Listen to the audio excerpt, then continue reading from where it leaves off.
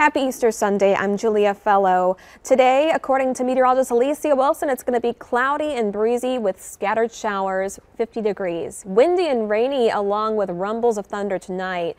A low of 34 and watch out for those wind gusts up to 40 miles per hour tonight.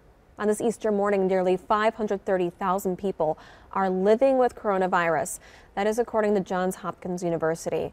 More than 20,000 people have died from the deadly virus, and more than 32,000 people have recovered. In Wisconsin, there's more than 3,200 cases of coronavirus. More than 130 people have died.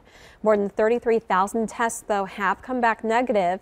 In Milwaukee, 1,692 people are living with the virus. 85 people have died. Today is Easter, also known as the resurrection of Jesus this Sunday for the Christian faith.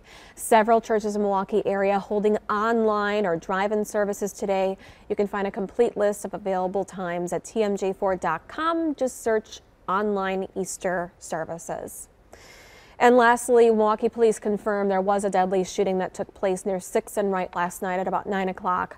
Police tell TMJ4 News that a 23-year-old Milwaukee man was shot multiple times, died on scene.